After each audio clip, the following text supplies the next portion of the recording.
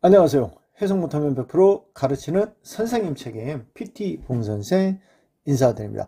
오늘은요, 이 영어 단어로 알아보는 이 찌질이 구별법을 한번 공부해 보도록 하겠습니다. 4단계가 있는데요. 제가 이제 아이들을 가르치면서 우리 아이들 헷갈리는 그러한 단어를 한번 정리해 보았습니다. 첫 번째 1단계. 특히 중학생들이 이거 틀리잖아요. 그러면 볼 것도 없습니다. 너희들은 찌질입니다. 몇 개? 다섯 개 중에서 하나라도 틀리면 너는 찌질이 확실합니다.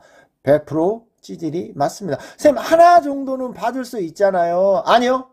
무조건 찌질입니다. 읽어보도록 하겠습니다. 이렇게요. 이렇게. 이렇게.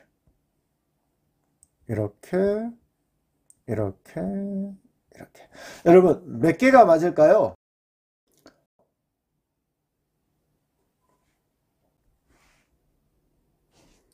여러분 발음이 뚜릅니다. 뚜려요. 그죠? 이게 R이 있죠. 이게 뭐뭇을 통하여 이러고 이것은 이제 도입니다. 도 비록 뭐뭐일지라도 아주 잘 나오는 것들이죠. 그래서 이렇게 R이 있냐, R이 없냐의 차이점입니다. 그 다음에 change입니다. 여러분 change 바꾸다 이런 뜻이고 그러면 chance 이건 기회란 뜻입니다. 그 다음에 expect 기대하다. 그 다음에 respect 무슨 뜻? 존경하다라는 뜻이 있죠. 그 다음에 quiet 조용한. 그 다음에 quiet 그 다음에 아주 깨 이런 뜻이죠. 그래서 우리가 많이 들어봤죠, 여러분. be quiet 조용한 이런 뜻이. 그 다음에 quiet는 아주 깨 이런 뜻인데요.